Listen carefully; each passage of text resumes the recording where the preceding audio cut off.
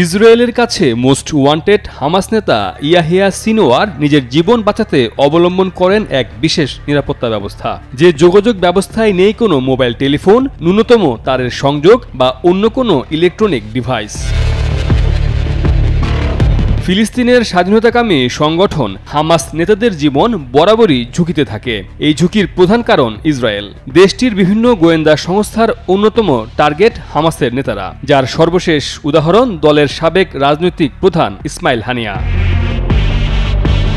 এবার ইসরায়েলের লক্ষ্য হামাসের বর্তমান রাজনৈতিক শাখার প্রধান নেতা ইয়াহিয়া সিনোয়ার। সম্প্রতি এমন তথ্য জানিয়েছে ইসরায়েলের গণমাধ্যম চ্যানেল টুয়েলভ। চ্যানেল টুয়েলভ জানিয়েছে, ইসরায়েলের গোয়েন্দা সংস্থা সিনবেত হামাসের শীর্ষ নেতা ইয়াহিয়া সিনোয়ারকে খুঁজে বের করার কাজে বিপুল পরিমাণ অর্থ বরাদ্দ দিয়েছে। শব্দের আরেক নাম, একদম ইউনিক স্ট্রাকচারাল ডিজাইনের কসমিক ডো থেকে পঞ্চাশ বছরেরও বেশি। কসমিক ডো ইসরায়েলি টিভি চ্যানেলটি আরও দাবি করেছে, হামাস নেতা ইয়াহিয়া সিনোয়ার বহু আগে থেকে মোবাইল টেলিফোন বা অন্য কোনো ইলেকট্রনিক ডিভাইস ব্যবহার করেন না। এর পরিবর্তে তিনি গাজার যুদ্ধক্ষেত্রের সঙ্গে যোগাযোগ রক্ষা করার জন্য অনেকগুলো ম্যানুয়াল পদ্ধতির নেটওয়ার্ক গড়ে তুলেছেন। হামাসের কমান্ডাররা সেই নেটওয়ার্কে এক ব্যক্তি থেকে আরেক ব্যক্তির মাধ্যমে সিনোয়ারের কাছে খবর পৌঁছে দেন এবং তার প্রয়োজনীয় দিক নির্দেশনা গ্রহণ করেন। মূলত ওই নেটওয়ার্কের মাধ্যমেই ইয়াহিয়া সিনোয়ারের একক নেতৃত্বে গাজা যুদ্ধ পরিচালিত হচ্ছে।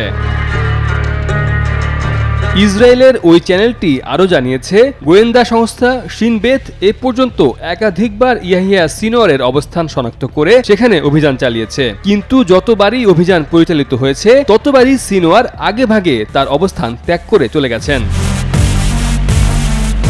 ইসরায়েল দুই হাজার তেইশ সালের সাত অক্টোবর থেকে গাজা উপত্যকার নিরীহ জনগণের বিরুদ্ধে ভয়াবহ গণহত্যা অভিযান শুরু করে। ইসরায়েলি প্রধানমন্ত্রী বেনিয়ামিন নেতেনিয়াহু যুদ্ধের শুরুতে ঘোষণা করেছিলেন, হামাসকে ধ্বংস করে গাজা থেকে ইসরায়েলি বন্দীদের মুক্ত করে নেওয়া হচ্ছে তার দুটি প্রধান উদ্দেশ্য। কিন্তু প্রায় এক বছর পেরিয়ে গেলেও গাজায় তার ওই দুই লক্ষ্য অর্জন করতে চরমভাবে ব্যর্থ হয়েছে তেলাবিব